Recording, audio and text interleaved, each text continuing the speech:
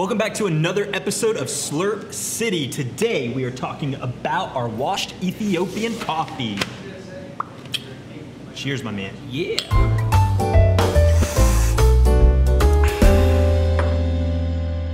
This coffee comes to us via our awesome partners over at Balzac Brothers. Thank you, Ricky. You've been holding down a lot of our coffees this hmm. fall. Cheers, Ricky. Yeah.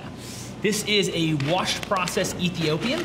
It is from the Koke washing station in uh, Yirgacheffe district of Ethiopia. Super famous district for coffee in general. This is really the birthplace of coffee.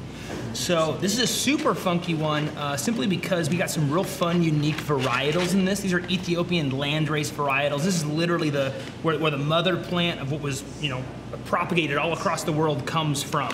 And so these varietals are going to be the Kumi, the Diga, and the Wilsho varietals. Um, yeah, probably mispronouncing them, I'm gonna be honest with you. Um, but it's great.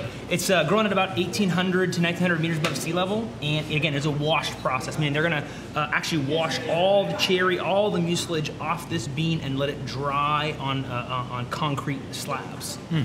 Very interesting. It's tasting really cool as well. Um, like a lot of Ethiopian coffees, it's got a fruity uh, taste and uh, flavor profile to it.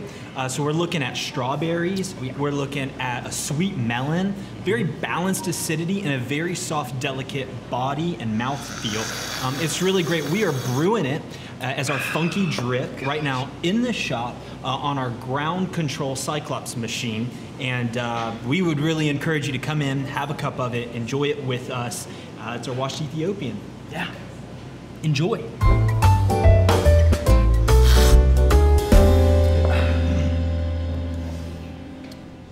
One take wonder?